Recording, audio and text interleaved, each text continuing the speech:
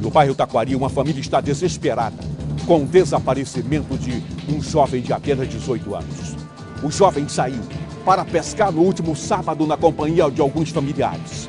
Segundo a irmã dele, o rapaz mergulhou nas águas do riozinho do Rola e não voltou. A família quer mais atenção nas buscas pelo corpo. Veja a reportagem.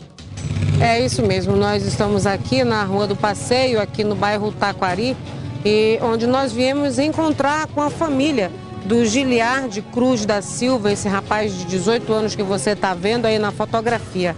O Giliard que foi pescar com a família e com alguns amigos no sábado, o que era eles eram acostumados a, a, ir pescar ali no Riozinho do Rola, próximo ali onde era a Dona Tereza, uma conhecida, um, um, pequeno bar conhecido ali, onde as pessoas costumam ir realmente para pescar.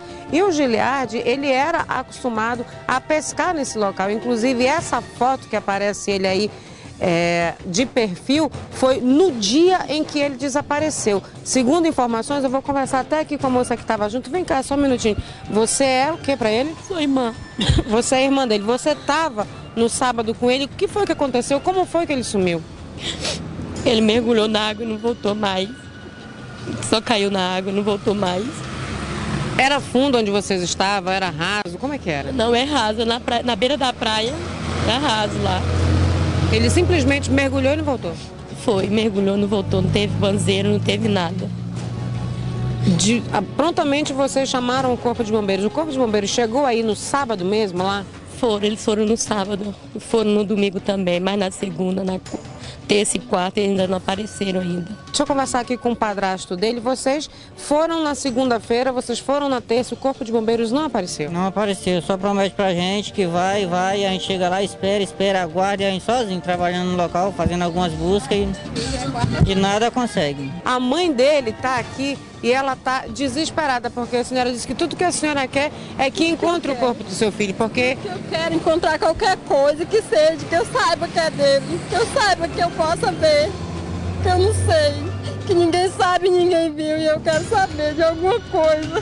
O Giliardo, ele era acostumado a pescar ali naquela era região? acostumado. A gente, quando eu estava grávida desse menino, a gente era acostumado a subir, só, só nós. Pescava o dia todinho, de tarde a gente retornava em casa. Nunca aconteceu nada. Ele tomava, chegava aí, ficava tomando banho o dia inteiro aí nesse rio. Nunca aconteceu nada. E só agora que meu filho pode sumir sem identificação nenhuma.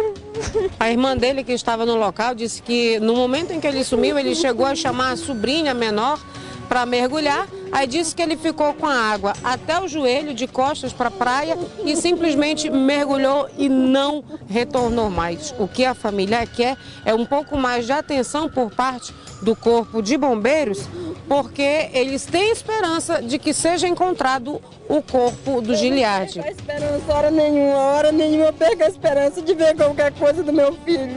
Nenhuma. Nenhuma eu perco a esperança, hora nenhuma. Direto do bairro Taquari, Rose Lima para o Gazeta Alerta.